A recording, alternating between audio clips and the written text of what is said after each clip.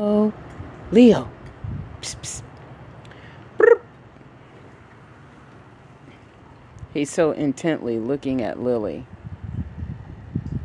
as she is watching to see if he's going to pounce at any moment.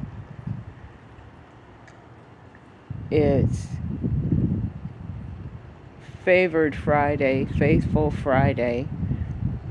Good morning to all as we itch and scratch and poop. Too many treats last night, and I knew he was going to do it.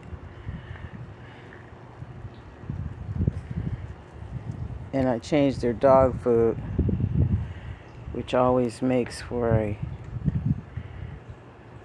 questionable evening or morning. for digestiveness.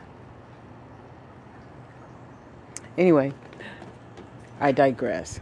Have a wonderful Friday, a wonderful August weekend. The weather here is crazy. God bless. We'll talk to you soon. Have a wonderful weekend. But we'll chat.